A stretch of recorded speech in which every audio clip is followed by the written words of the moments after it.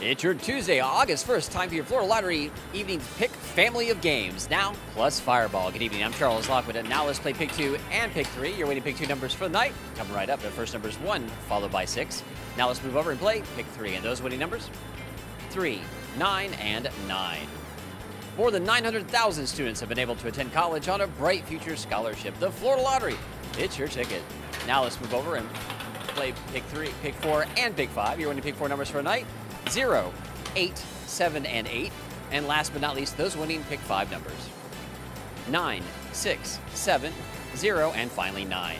Now for tonight's fireball number, good luck everyone. It is 8 and applies to all pick games. Once again, Florida, good luck. Let's take another look at tonight's winning pick draw numbers. Thank you for playing the Florida Lottery and helping to support education.